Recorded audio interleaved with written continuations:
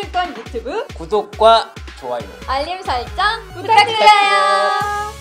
그러다 보니까 다음 주 같은 경우는 결국은 이제 어 애플이라든지 뭐 이런 쪽에 주식 분할이 이제 본격적으로 네, 네, 하고 나서 다음 주부터 거래가 되잖아요. 이제 그 가격대로 보통 과거의 흐름을 보면 그때 이후로는 보통 차익 매물이 나오는 경향들이 있기 때문에 그 기- 대형 기술주들의 변동성이 커지고요, 미국이. 그럼 우리나라도 당연히 퍼질 수밖에 없고.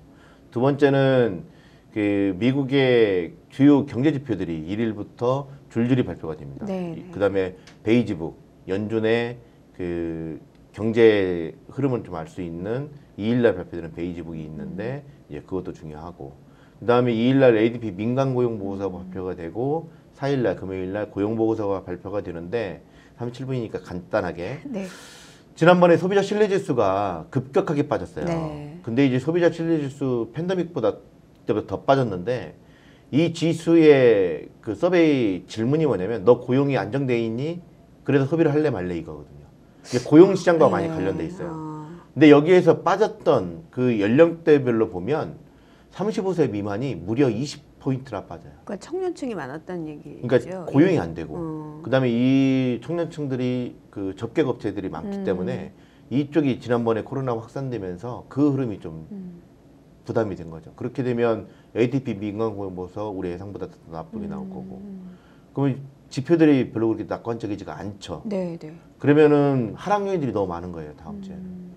대신에 이제 뭐 그렇다 하더라도 하락 요인들이 많지만 그 지표들이 다 정말 예상보다 좋게 나와버리면 지난 8월 초에 그랬어요. 8월 초에 지표들이 나쁘게 나올 것으로 전망을 하고 있는 있었던 상황에서 조정을 볼 거라고 생각을 했었는데 다들 좋게 나와버리니까 갑자기 그 한 주 동안에 5% 뛰었거든요. 음. 음. 그런 현상을 볼 수가 있기 때문에 다음 주는 그러한 경제 지표들 음. 에 상당히 주목할 필요가 있다고 보시면 될 것 같습니다. 그 결과에 따라서 시장의 변동성이 위든 아래든 음. 확대가 될 수 있는 구간이라고 보시면 될 것 같습니다. 네. 어쨌든 파월 연준 의장도 뭐 평균치로 얘기를 하지만 금리 얘기도 하고 고용 얘기도 했잖아요. 네. 그러니까 거기다가 이제 실물 지표가 나오는 그런 구간이 들어왔기 때문에 어 바깥쪽에 좀 이 경제 지표에 대한 민감도를 계속 체크를 해봐야 될 것 같습니다. 왜냐 지금 내부적으로 좀 힘이 좀 약하거든요. 어 그런 부분에 말씀을 빼주신 것 같아가지고 제가 좀 덧붙였습니다. 맞지요? 네, 알겠습니다.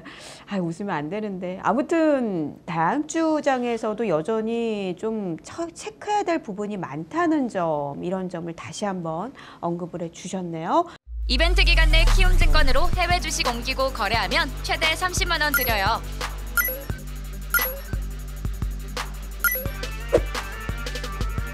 시 원금 손실에 유의하세요.